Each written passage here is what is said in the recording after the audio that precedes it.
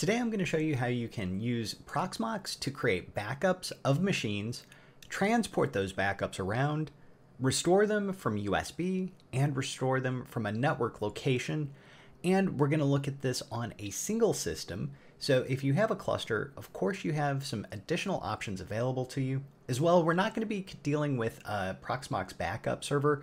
Uh, that's a completely different topic that would of course handle most of your backup needs but this is just geared towards people with a single Proxmox box. When you look at one of your VMs, this is going to have a backup option, and your backup option you can run from the context of your actual node, or you can go to data center and you can have, if you have multiple machines or just a single machine, a schedule that would be able to back up and you can define the schedule for when and which particular machines to back up, as well as how to compress them. I typically use Zstandard because it is actually fast and good, like they say. And whether you want to stop the VM or suspend or snapshot the VM when you do this. So let's take a look at creating a backup first. So we're going to use our MySQL instance here, and we're going to go ahead and run this backup. We're going to put it on the local directory, and as you can see, this has 225 gigabytes of space available to it right now. We're just going to have the notes as hostname. Click backup, and it'll run the backup here and write it to the local directory that is hosting this particular VM. One thing to note is the path here forward slash var forward slash lib forward slash vz forward slash dump is the default place where you will be putting your backups. So the actual backup will be living in this path, and we're going to be using this again in just a few moments.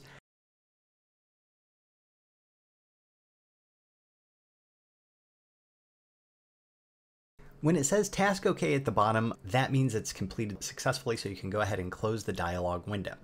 Now, if you wanted to restore from this, you would just click this, click restore. You could change some of the settings if you wanted to, and also you could also give it a different storage location to restore to.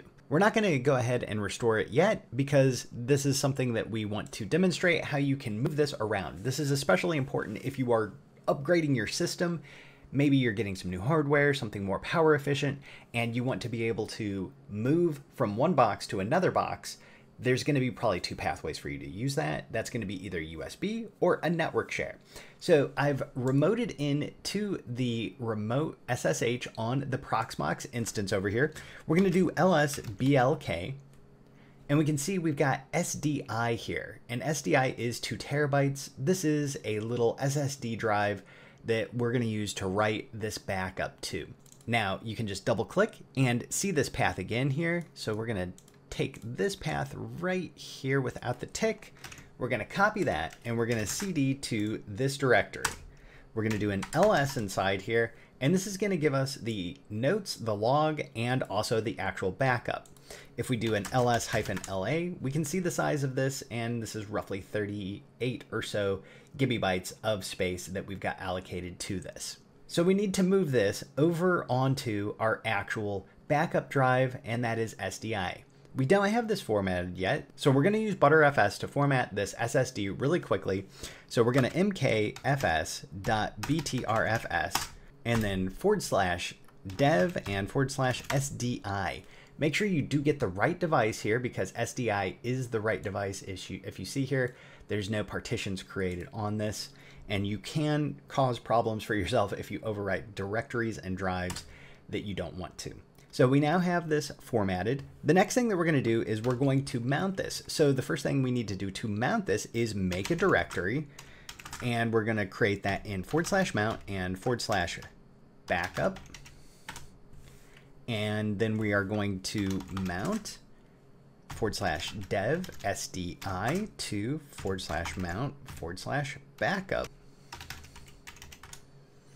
Okay, now if we do a df hyphen h, we can see that we have our backup drive here of 1.9 terabytes on dev SDI. Got all of these things here, and we are going to just take this first piece and we are going to mv this star, and then we are going to put that in forward slash mount forward slash backup forward slash. and it will copy those files over to that directory. Okay, so now if we do an ls in here, you'll see that we don't have anything, but if we do an ls hyphen la in mount forward slash backup, you'll see that we've got those three files there. The next thing that you need to do if you need to move this from system to system is go ahead and unmount the backup. So that command is umount and then forward slash mount forward slash backup.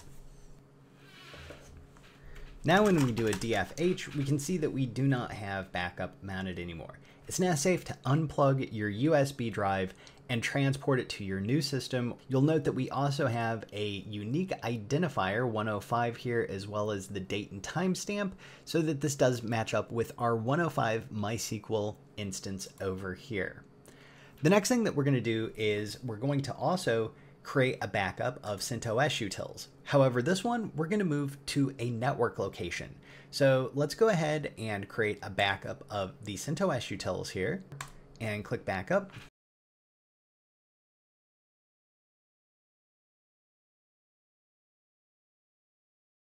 Okay, and we got the task okay, so the job is done now, and we now have the backup here.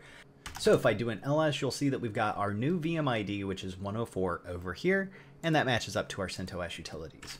If we do an ls of the forward slash mount directory, you can see that we've got the backup, which was the USB drive that we used earlier. So we're going to create a new folder, and we're going to do that with mkdir hyphen v forward slash mount and forward slash net backup. And this net backup is going to be what we use to mount our remote file system. Our remote file system that we're going to mount is going to be over in TrueNAS scale. This is a probably pretty popular option here. Now, we do have an SMB share created, as you can see here already, for this particular directory, but we're going to create a new one, and this is going to be a share for NFS. So we're going to click over here. We're going to go to NFS shares, click add. We're going to go down and specify the backups folder, and we're going to click save. Now, if we go to data sets and we go back here, you can see that we have both SMB and NFS shares enabled now. So the command to mount the remote directory from this TrueNAS instance, if you look here, you can see our IP address is .62 for that. So we're going to do mount hyphen T NFS, and we're going to do the IP address, which is 192.168.1.62 colon forward slash. And if you look here, you can see on the shares, if we expand out view all, the actual location. So we're going to copy that. And we have two of those there, so we don't quite need that. Oops. And then forward slash mount and forward slash the directory that we made, which was net backup. and that is NFS and not NFT. It's figured out that we have 25 terabytes and 4.6 terabytes used, so 20 terabytes available on our net backup folder. And so if we do an ls inside here, we can see that we've got our net backups. We're going to go ahead and make dir another directory, and this time we're going to put it inside our remote folder, but we're also going to call it Proxmox. Okay, so we're going to take the VZ dump and we're going to move it again. So we're going to mv VZ dump all these files into this directory here. And so after a little while, we can see that it's finished the copy over to our remote destination. So the next thing that we're going to do is we're going to go ahead and actually delete these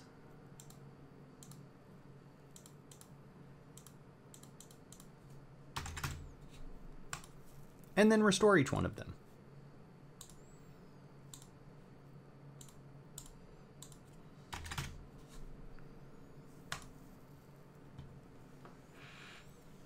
Now let's go over how you can restore from the USB. So the first thing that we're going to do is remount our USB drive. So if we do lsblk, let's say that we've plugged this into a new location, we can see that we have the SDI drive still present here. And so this is what we're going to actually mount. If we do ls in here, we can see that we don't have anything present in here currently. So let's go ahead and cd to our mount directory and ls and Then we're going to go ahead and restore our USB connection to our backup. Let's say that you have gone ahead, replaced the hardware, reinstalled, and now it's time for you to remount. You would go ahead and recreate your directories for backup or your net backup location, whether you had used a USB location or a network location for your backup originally, or possibly if you've used both. We're going to go ahead and start with our USB location. So we're going to mount and we're going to do dev SDI and then forward slash mount and backup. And now we're going to CD into backup. And we're going to ls. And we can see that we've got our VM 105 here. So to restore VM 105, what we're going to do is we're going to use the qm restore command. qm restore. We're going to take the ZST file here. Also, you can specify the VM ID, which we're going to go ahead and use 105. If you needed to iterate past 105, suppose you had waited some time and created another 105, and so you were past 105, say you were at 115, then you could actually specify 116 here and it would create a VM ID 116. But we're going to go ahead and specify 105 for this one. And then you can specify the storage that you want to use. And we want to use our fast storage pool, which is actually called storage. So hyphen hyphen storage, and then the name storage, which you would change to whatever name you wanted. That could be local also if you're just using like a single SSD or something. And it's going to restore from our USB drive. And you can see that it'll go through the process here. And you can even double click on this and get the same information that we're getting in our screen over here. Okay, so when it's back to the command prompt over here, or when it says OK in your task viewer, you're done. And we can see that our MySQL instance is back. If you've upgraded your hardware, you would want to go ahead and possibly change, uh, maybe to host or something like that if you have some really great hardware. QEMU 64 if you want maximizing your cap capabilities for having uh, cross-platform without any sort of issues. KVM 64 also an option. So now let's go ahead and mount our backup location that we have over on the TrueNAS share.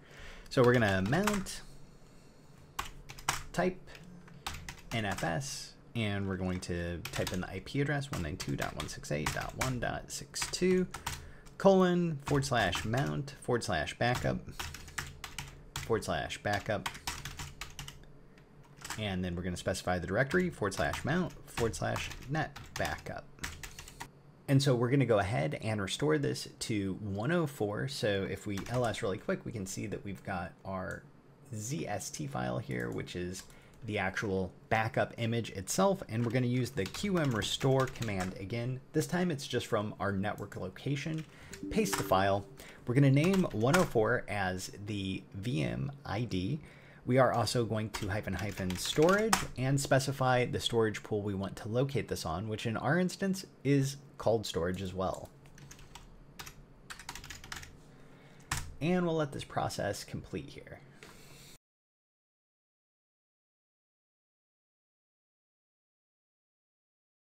And there we go. We now have our VMs restored and it should rename it to its former name. You can check and make sure that it is the correct CPU type here. And if you need to adjust that, you can do that over here. And we should be able to start this now and start this now and have them both fire up.